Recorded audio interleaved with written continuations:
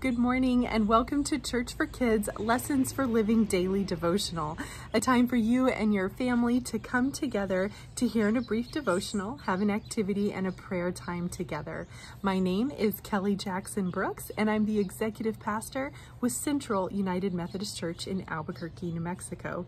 Today we are outside. It's been raining, and I love the rain.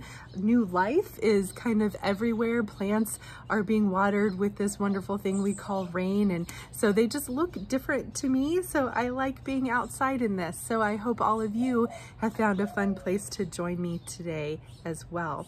I also wanted to say and to remind all of you that this will be our last week for our daily devotionals. This is actually week 19. We've been doing this hard to believe, but I will still be doing a weekly devotional and that will start on Sundays and you can still find that on Facebook or on YouTube or on the website of the church, which is Central United Methodist Church, and the website is centraltolife.org.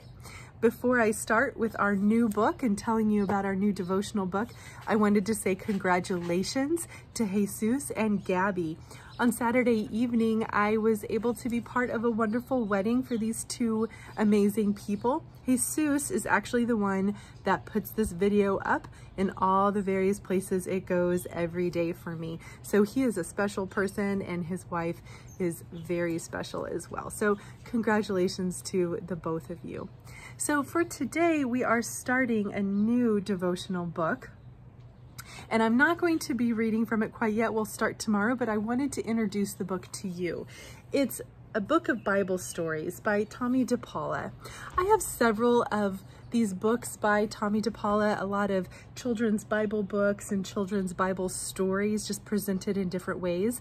I've always loved the illustrations and the way the stories are told. So I decided we will go into this book for, for Church for Kids and I read a little bit about Tomie dePaola and I wanted to share that with you today. I think it's important when we're reading about an author, we just really are drawn to something about a person to learn more about that person.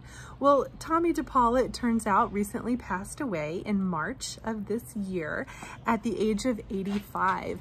Tomie dePaola wrote over 260 children's books won numerous awards for his illustrations and the way he writes. And I just really hope you enjoy this story and these books as well. So I'm looking forward to sharing this with you. For our activity today, it gives us a little reflection on what we've been doing and where we're going from here.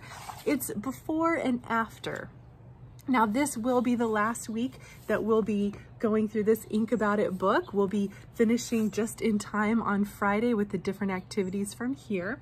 You will find this also attached to today's posting.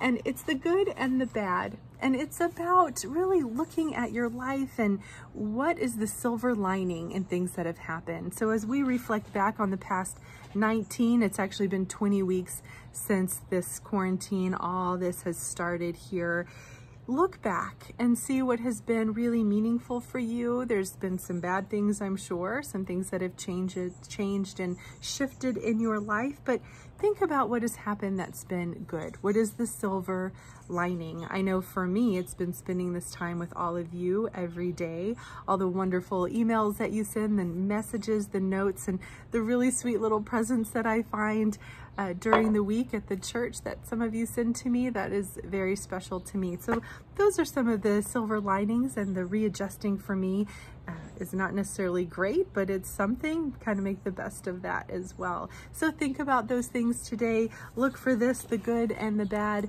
attached to our post today. And we will start tomorrow with our new book, The Book of Bible Stories by Tommy DePaul. Let us pray.